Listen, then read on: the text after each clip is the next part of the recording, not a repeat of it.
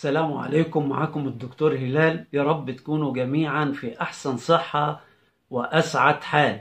نقص المناعة أو ضعف المناعة. كتير قوي قوي مننا بيتعرض لحالات ما بيبقاش فاهمها حالات مرضية. حبوب تطلع على جسمه آه، كل شوية عنده كحة وعطس والتهاب رئوي. تلبك وارتباكات في الجهاز المعوي في الجهاز الهضمي. ما بيبقاش فاهم إيه السبب وراه. يا ترى هو ايدز كتير منهم طبعا من من الناس المتابعين الحباب على القناة. آه، أي حاجة تظهر من هذه العلامات يقول لك الله احتمال أكون أنا عندي ايدز ده أنا سلمت مرة على واحد ده أنا مرة قعدت على كرسي مش عارف إيه الحاجات دي كلها.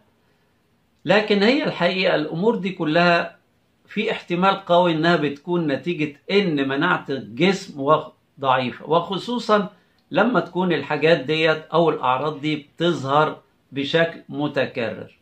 الأعراض دي لما بتظهر بشكل متكرر بيبقى لازم في سبب من الأسباب وراء هذه الأعراض. يا إما في أعراض بتظهر نتيجة الحساسية. طبعا الانسان اللي عنده حساسية ضد شيء معين هتظهر عنده الأعراض بشكل متكرر كلما تحسس من هذا الشيء. الإنسان اللي عنده ضعف في المناعة جهاز المناعي مش شغال بشكل 100% برضه ممكن يحصل عنده بعض الأعراض. وبناء على رغبة الحبايب أنا حبيت أعمل فيديو شبه كامل عن نقص المناعة. مش مش بالظبط متلازمة نقص المناعة أو أمراض نقص المناعة وإنما بصفة عامة إيه اللي بيخلي المناعة بتنقص أحيانا؟ بجانب تلك الأمراض. وإزاي نعرف وإيه هي الأعراض اللي في غالبا بتحصل وتتكرر لما تكون جهازنا المناعي متخستق شوية؟ وإيه الطرق اللي نقدر نحسن بيها جهاز المناعة عندنا؟ فخلينا نشوف ولعلمكم الخاص هو أهم بند في كل اللي أنا هقوله ده لتحسين الجهاز المناعي عندك هو اتباع أسلوب الحياة الصحي. فخلينا نشوف الفيديو. وممكن تشوف الموضوع بالتفصيل على موقعي الطبي موقع دكتور هلال. دي كده بسرعة الأعراض التي تظهر على الإنسان اللي عنده ضعف في المناعة بتاعته. الإصابة المتكررة في أي مكان وفي أي عضو من الجسم من الرئتين الشعب الهوائية الجيوب الأنفية الأذن الالتهابات الجلدية المختلفة والتقيحات. اضطرابات طبعا في الجهاز الدموي انخفاض صفائح الدم أو فقر الدم مشاكل في الجهاز الهضمي الشعر يتساقط الشعر وسبق وقلنا أي نوع من الاضطرابات الجلدية وأيضا الإسهال. أنواع أمراض نقص المناعة Immuno Deficiency Syndromes. دلوقتي كده نمر نمر كده مرور الكرام على أنواع أمراض نقص المناعة. نقص المناعة ديت يا إما تكون وراثية يا إما تكون مكتسبة حاجة جديدة اسمها ثانوية. نقص المناعة الوراثية اسمها نقص المناعة الأولية ودي بتبقى شيء صعب شوية وبرضه منها نوعين. نوع وراثي شديد وعنيف جدا جدا في الغالب بتبقى الجهاز المناعي ما بيقدرش يشتغل على الإطلاق وفي الغالب المولود بيتوفى خلال السنة الأولى من عمره. اللهم إلا لو اتعمل له نقل خلايا نخاعية ونجحت.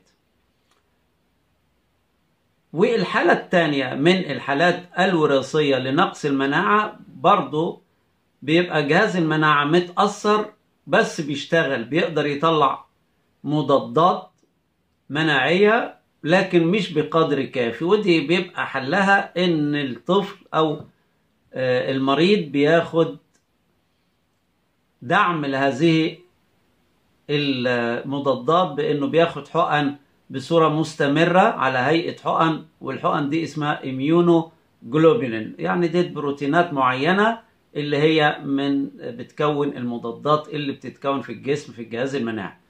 فدول النوعين الوراثيين وبيبقوا زي ما قلت صعب جدا ولا حل ليهم إلا لو كان النوع البسيط ده والواحد أو الطفل أو المريض بياخد حقن ليهم. أما الأنواع المكتسبة فأشهرها طبعا الشهرة الكبيرة قوي اللي هو إيه؟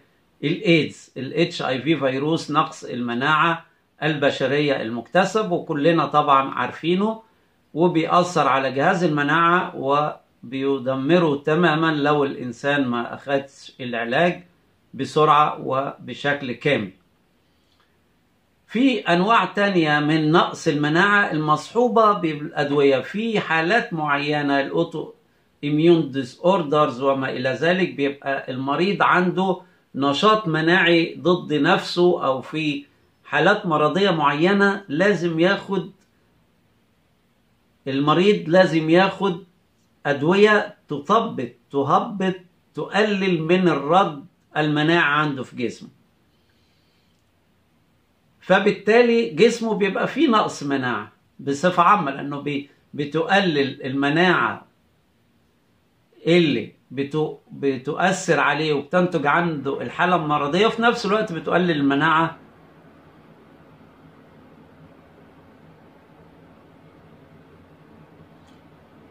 لأن الأدوية دي بتؤثر على المناعة ككل مش بس المناعة اللي عاملة له مرض فبتأثر برضه على مناعته بصفة عامة. فالحالات دي لازم الواحد الطبيب المعالج بيلاحظ حالته وبيلاحظ أي التهابات بتحصل أو أي عدوى بتحصل يعالجها بسرعة بسرعة.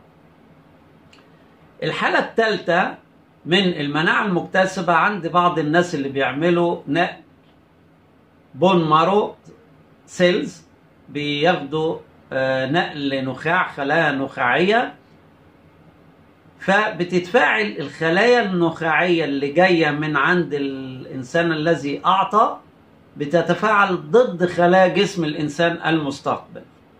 وفي الحالة دي بيضطروا يدوله أدوية مضادة للمناعة عشان تقلل من نشاط الخلايا اللي جاية من الشخص المتبرع.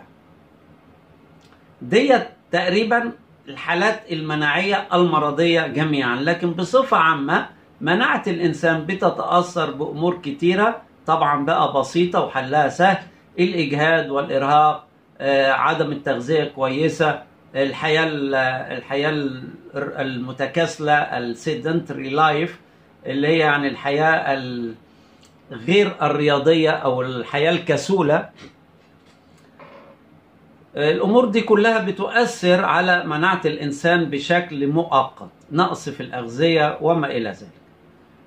فدي ملخص لأنواع المناعة جميعا.